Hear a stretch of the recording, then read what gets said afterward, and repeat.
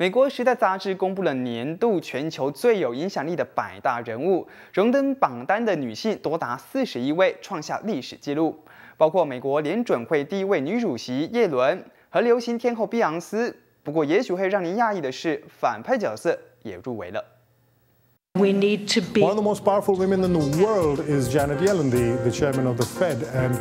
uh, there are some people who've argued she's the most powerful woman uh, since Catherine the Great, or one of sort of history's great figures.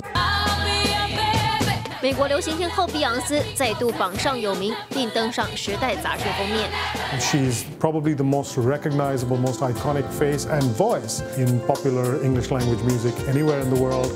除此之外，还有很多出色女性入围，如通用汽车公司首席执行官巴拉、德国总理梅克尔、智利女总统蜜雪儿巴切莱，年仅十六岁为巴基斯坦女性受教权发声的马拉拉。而在男性入围者名单当中，也离不开像包含奥巴马、普京、安倍晋三等政界人物。不过，如果在名单中看到像是北韩独裁者金正恩、恐怖分子阿布杜阿、泄密者史诺登的名字，也不必感到惊讶。And it's a reminder that our list is not only about